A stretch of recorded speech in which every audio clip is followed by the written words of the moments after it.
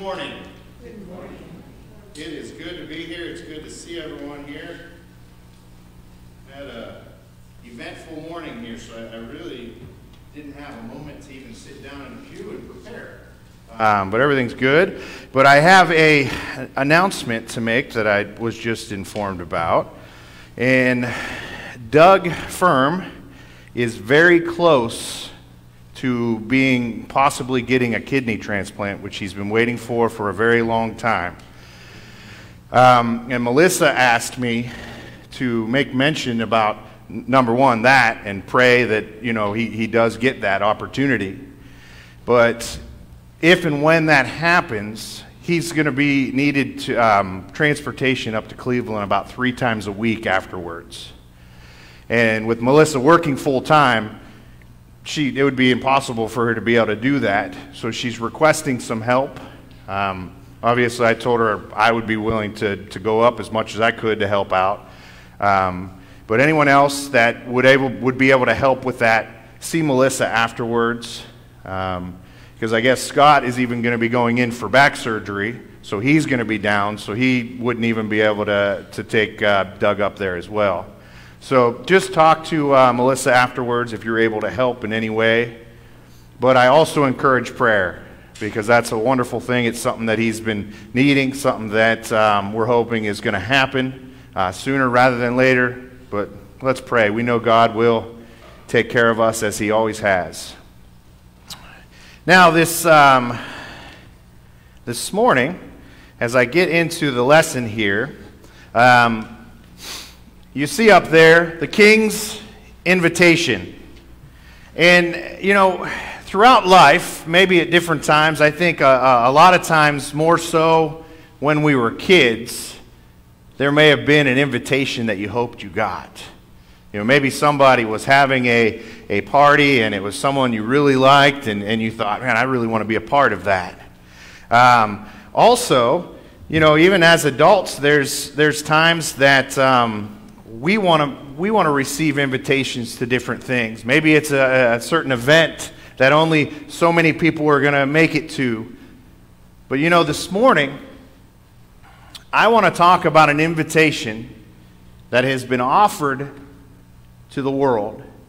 You know, we know in John 3:16 that for God so loved the world that he sent his only begotten son. And we know that that invitation of forgiveness, that invitation of eternal life has been offered not just to those of us that are sitting here right now, but to those in the world. God wants all to make it to heaven. God wants all to be a part of His kingdom. And you know, it's, it's one of those things where, you know, there's certain types of invitations that maybe you have to do certain things. You know, maybe to get invited to a, a, a political thing or something along that lines, you might need to donate money. But you know, the thing about the king's invitation, yes, we need to be obedient to him, but the cost has been paid. The price has already been laid out there by Jesus. And we see here in, in Matthew uh, chapter 22, verses 1 through 4, and that's, that's the text for this, this morning's lesson. And it comes from a parable that Jesus taught. And that parable is the one of the, the ruler who sends out all these invitations. And he wants his, his people to come to the party that he is planning. And, and we'll be talking a little bit more about that as we continue on. But in Matthew chapter 21, verses 23 through 45, it says, Now when he came into the temple, the chief priests and the elders of the people confronted him as he was teaching and said, By what authority are you doing these things? And who gave you this authority? Now in verse 45 of that same, pass, uh, same chapter there, it says, Now when the chief priests and Pharisees heard this parable, they perceived that he was speaking of them. He is highlighting their stubbornness and rejection of Jesus. So I want to look at this idea of the king's invitation and, and how important that really is. In Matthew chapter 22, verses 1 through 3, and Jesus answered and spoke to them again by parable and said, The kingdom of heaven is like a certain king who arranged a marriage for his son and sent out his servants to call those who were invited to the wedding, and they were not willing to come. Jesus paints a picture of the kingdom of heaven as a celebration like no other. Now, you think about that. Think about it from the perspective of royalty and, and a king that is and has a son that is going to get married. Now, even bring that down outside of royalty. Do we not celebrate when our children uh, find a mate and are married? Do we not celebrate when our family, our brothers, our sisters? You know, the king sent his servants to call those who were invited. Now, in, in this um, atmosphere in the first century, typically there were two invitations that would have been sent. It would have been a great honor to know that you were on the guest list. But yet, when you listen to this story here in Matthew chapter 22, it's really menial things that they come up with to excuse themselves from being a part of that. Now, I want you to think about that for a moment. I want you to think about Judgment Day. You've been invited. You have the invitation to be a part of the kingdom of God. Is there anything in this world that we can put our focus on that is more important than that? But yet, there are so many things in this world that every day individuals give up God for. We see in, in Matthew chapter 22, verses 3 through 6, we see the rejection that happens. And he sent out his servant to call those who were invited to the wedding, and they were not willing to come. Again, he sent out other servants, saying, Tell those who are invited, See, I have prepared my dinner. My oxen, my fatted cattle are killed, and all things are ready. Come to the wedding.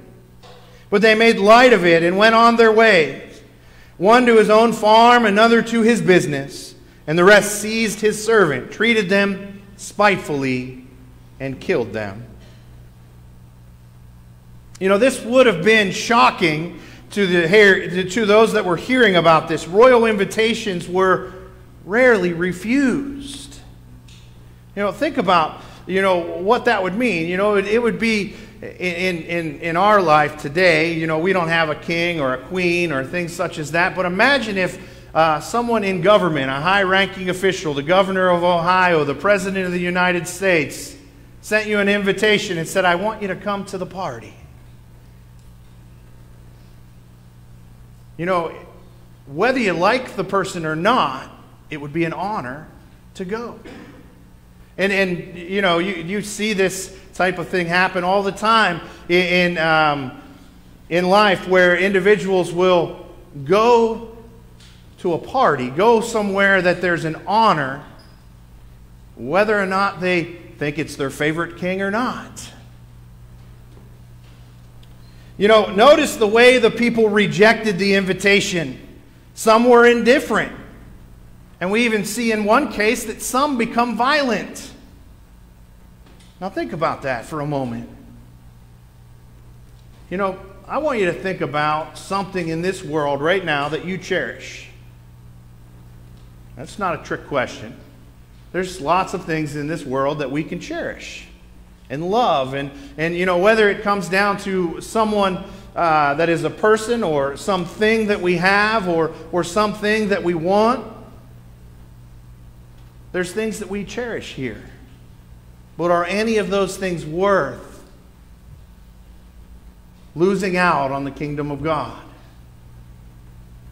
You know, this would have been insulting to the king. He had gone out of his way to invite the people, and they continued to reject his invitation.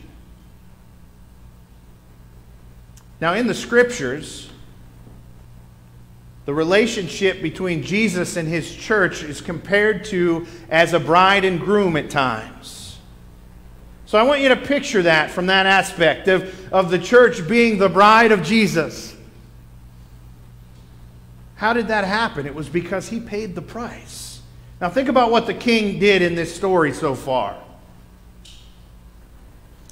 He got all the best that he had and he prepared a meal. He, he prepared a meal and, and, and told the people the fatted cattle were killed, the, the oxen. You know, imagine today You know, we have Thanksgiving coming up pretty soon. You know, we, we eat a turkey. Well, most of us do, I think. Some stuffing, some mashed potatoes. I, I know you're, it, you know, it's not lunchtime yet, so I don't think it, this will be too bad to talk about. You know, maybe some corn or some green beans, some rolls, right? And imagine the person that, that slaves over that. You know, I can remember as a kid, my mom would always get up extra early in the morning. Now, I don't remember seeing her get up because I was always sleeping, but I knew what she was doing. I knew the amount of time that it took. They would, she would talk about how long it took to cook that turkey. Well, imagine if you put all of that work into something. And all those that you invited, in this case, mostly family and friends, and you set the table, you're ready to eat and all the chairs were empty. Now imagine how the person that put all that work into that would feel. And you know, we have a God that tells us that He's long suffering for us. So imagine God, and this is a, just a metaphor, obviously, but imagine God cooking Thanksgiving dinner for us. Imagine the Thanksgiving dinner being our salvation. God sitting at the head of the table. You know, thankful for him, he, he could keep it all warm just sitting on the table. We wouldn't be able to do that. It would eventually get cold. But the salvation is there. And he continues to wait. The invitation is there. Don't give up on it. Don't lose out on the invitation that God wants to give. We see in the latter part of, of this lesson the response from the king.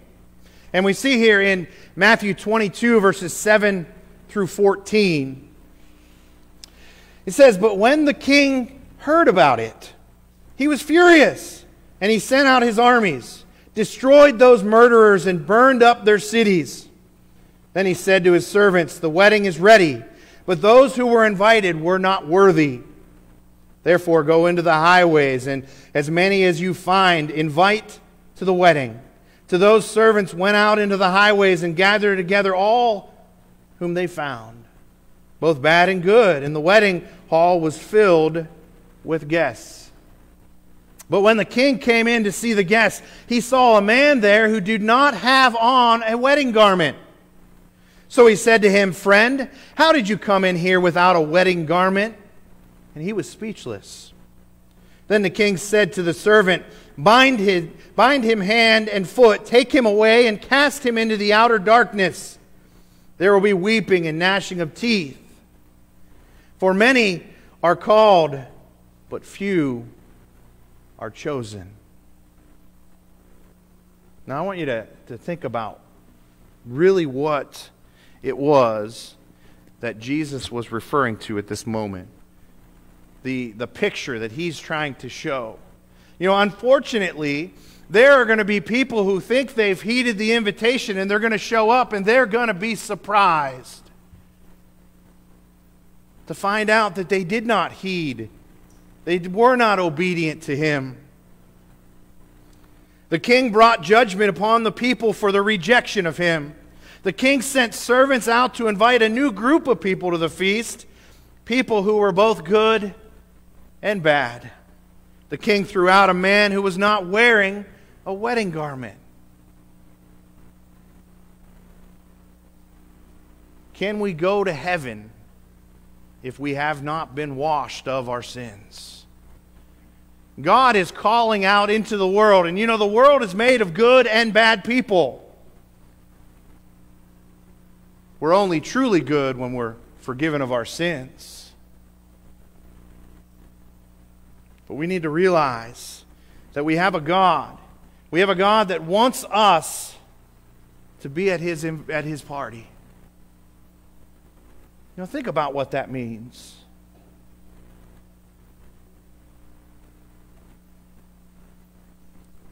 Everyone is invited to be a part of God's kingdom. Matthew 22, 9 through 10, we see that. Acts chapter 10, verses 34 through 35. Then Peter opened his mouth and said, In truth, I perceive that God shows no partiality. Acts chapter 10, this is Peter having the, uh, um, the meeting with Cornelius. But you know what? Peter tried to show partiality. Peter didn't want to go originally. God had to show him in a vision. That vision basically um, summed up to the, the idea of what that vision was about was it doesn't matter what someone is, it doesn't matter who someone is. If God wants to make that person clean, God can. Now, in the vision, he used the example of animals that were clean and unclean. But that was the point of it. We need to make sure that we take the right lesson for this life because, you know, we don't want to get to the gates of the party and realize that we weren't invited. We need to take that more serious. We must never lose sight of what is truly important. You know, what was important in this parable was showing up for the king. Matthew 6 and verse 33 Seek first the kingdom of God. That's what is important. That's what we should have focus on in this life. If we do not, even if we show up with our invite, we might not be dressed appropriately. In Acts chapter 24, verses 25, it says, Now as he reasoned about righteousness, self control, and judgment to come, Felix was afraid to answer. He said, Go away for now. When I have a convenient time, I will call for you. Just in case you don't remember what's happening there in Acts chapter 24, this is one of the, um, what I believe, three, three times that Paul expresses his conversion. And the reason he expresses it is because he's trying to convert Felix, who is a government official. We see that he listens to him. He reasons about righteousness, reasons about self control, points out that there's a judgment to come. That's what we need to, to, to focus our minds on, that there is a judgment to come. And obviously, you wouldn't be afraid to answer if there wasn't something stirred inside of you. But unfortunately, he wasn't stirred enough at this moment. I don't really know what ends up happening to Felix as far as history. I don't know if he ever actually called upon Paul again and said, Okay, I'm ready. I, I want to know more. All I know is this moment. I know that if Felix has not, did not rather, call upon Paul, he has no more chances because Let's face it, there's no one around that's 2,000 years old, right? He's gone to his grave. Matthew 16 and verse 26. For what profit is it to a man if he gains the whole world and loses his own soul? Or what will a man give in exchange for his soul?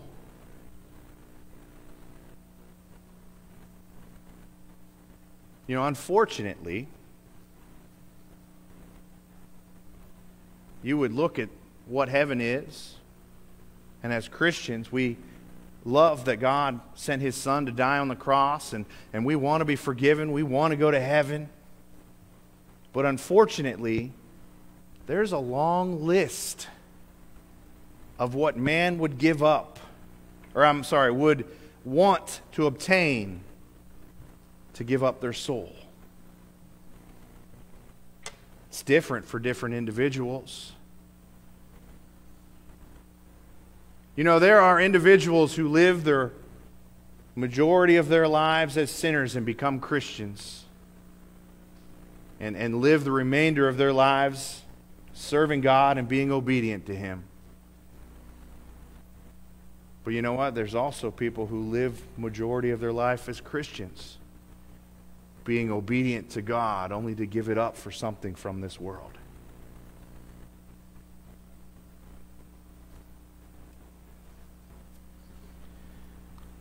What would you give your soul up for?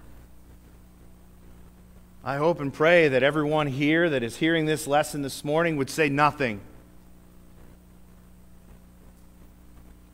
But I do know that we're a human.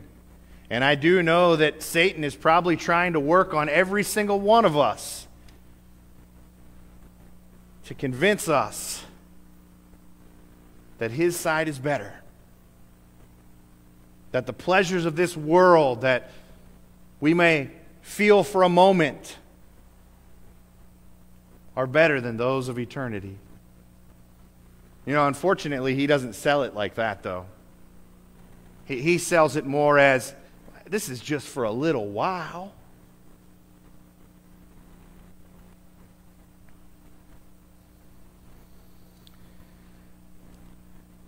If you are not at the feast, it is no one's fault but your own. We have all been invited. Revelation 16 and verse 15. Behold, I am coming as a thief. Blessed is he who watches and keeps his garments, lest he walk naked and they see his shame. You know, I've been doing a study in the book of Revelation. And if anyone is interested in taking part in that study that has not heard about it, let me know. We're, we're doing it online. Um, it's the same as uh, our sign in for our Wednesday night. We are usually there Thursday around 4 o'clock. But the reason I'm saying that is, you know, here, Revelation 16, verse 15, that's almost to the end of the book. That's, you know, 22 chapters in that book. But I want you to know that this type of language is all through that book. To repent You know, we um, are currently looking at the seven churches of Asia at this moment. We have now gotten through three of them. And, and Pergamus was the, the latest um, congregation that we looked at. And in that letter, Jesus talks about some of their downfalls, talks about the fact that they're basically going to lose their lampstand. And, and what that really means is that God's going to walk away from the congregation. He's no longer going to be a part of it. It's not going to be salvation where they are. But Jesus, through the Apostle John, really emphatically just warns them that there's still a chance. He tells them to repent of what they're doing. And, and we see that language in, in, in just about all of the letters to the seven churches. And you know, the, the more I've studied this, just being in the beginning of the book, but just talking about those seven churches, I, I heard someone say, and, and they said that basically they feel that if you look at those churches, we could solve any problem, spiritual problem that the church has today. And so I went back and I began to read through those again and, and looking at those things. And and from the general sense of what is happening in those congregations, I think that's a true statement. That if there's a shortcoming that is here at this congregation between our members, between the flock, well, one of the things that we need to realize is Jesus is saying, repent. But I think we can see the visualization of that. In Matthew chapter 21, uh, verses 21 through 23, we see not everyone who says to me, this was, I read this 23 earlier, not everyone that says to me, Lord, Lord, shall enter the kingdom of heaven, but who does the will of my Father in heaven. Many will say to me in that day, Lord, Lord, have we not prophesied in your name, cast out demons in your name, done many wonders in your name? And then he will declare to them, I never knew you. Depart from me, you who practice lawlessness. One of the biggest problems in the church of Pergamus was that they were falling in love with the world rather than God. They wanted to make compromises rather than being obedient. They wanted to fit in with the people around them. And I want you to think about that for a moment because we live in a world where we're surrounded by people that are not followers of Him, that don't want to be Christians, that want us to change our viewpoint on, on who we are. They want us to change our viewpoint on who is a woman or who is a man. They want to try to let little children who don't even have their brains developed decide whether or not they're the gender they were born into. We cannot compromise to things such as that. But really, we see in Pergamus that's what they were doing compromising. I don't want to cause a fight.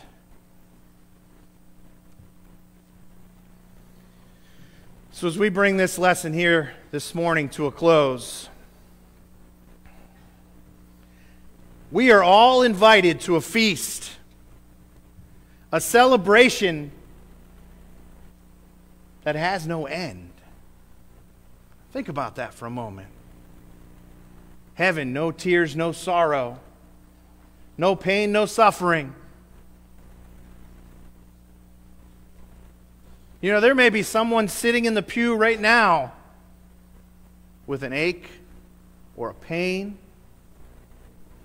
And you may be sitting there saying, I want that to go away. There may be someone sitting here this morning that is hurting from the loss of a loved one.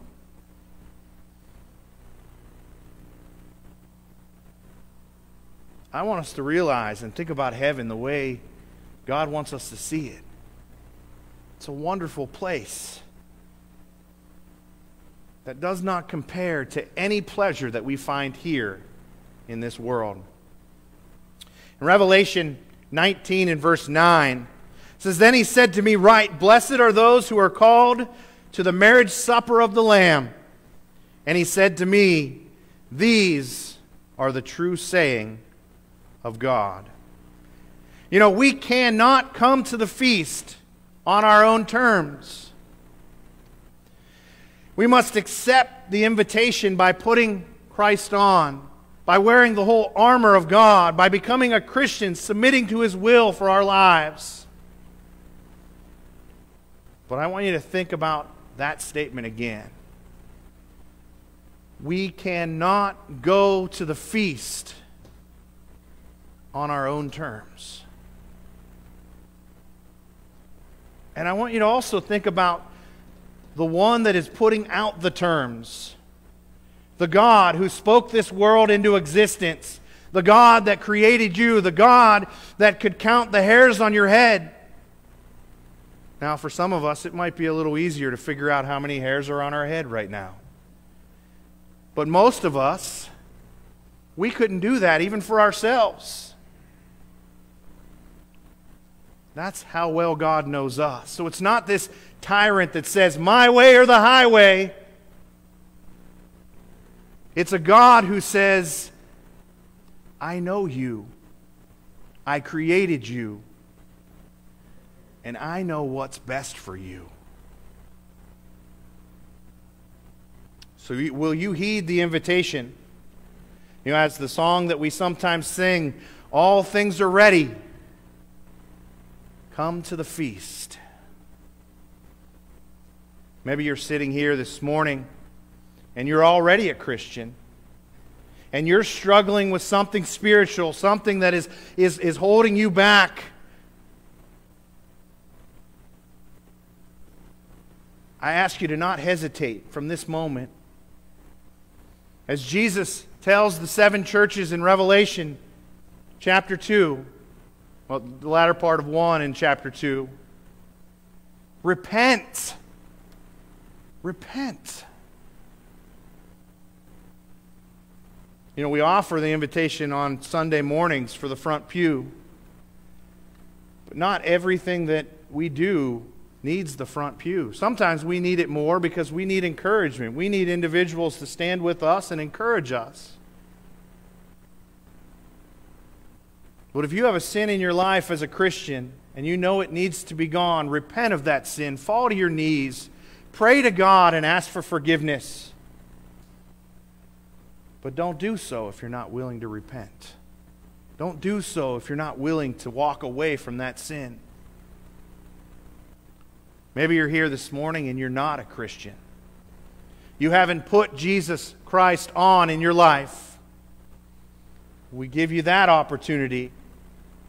That if you're here this morning and you want to be baptized into Christ, you want to confess Jesus as your Savior, repent of your sins, don't wait. Don't be as, as Felix was. It says, we'll talk later. Don't be as the other government official that, that um, Peter had, Paul had talked to. And I had his name a moment ago, and now I forget it. But thou have almost persuaded me to be a Christian.